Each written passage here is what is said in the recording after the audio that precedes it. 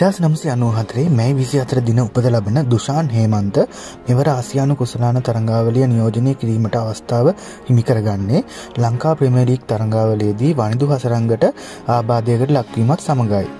තුන්නිඩියාව දකුණත් පාදග පන්දයවන්නෙක් වන දුෂාන් ශාන්ත පීතර විද්‍යාලය අධිශෂයෙක්. පළමු පෙළ තරඟ හතරිස් සතරකදී ලකුණු එක්දස් නම්සියානු තුනක් ලබාගෙන ඇති දුෂාන් ඉහළම ලකුණු ලෙස ලකුණු එකසියානු තුනක් ලබාගෙන ඇත. ඔහු පළවුම් පෙළ තරඟ වලදී ශතක තුනක් සහ අර්ධ ශතක හතක් ලබාගෙන ඇත. කඩුල් පහේ අවස්ථා තුනක් සමගින් ඔහු බින්දේරා ඇති කඩලු සංඛ්‍යාව කඩලු අනුත් අට මෙම වසරේ ජූනි මස ඇෆ්ගනිස්ථානට එරෙහිව ජාත්‍යන්තර එක්දිම් වරම් දිනාගන්නා දුෂාන් තවමත් තරඟ දෙකක් පමණක් ක්‍රීඩා කර පිත්තෙන් එක්කිනිමකදී ලකුණු විසි දෙකක් මෙන්ම පන්දුවෙන් කඩලු දෙකක් බිඳහිලීමට සමත්ව තිබෙනවා.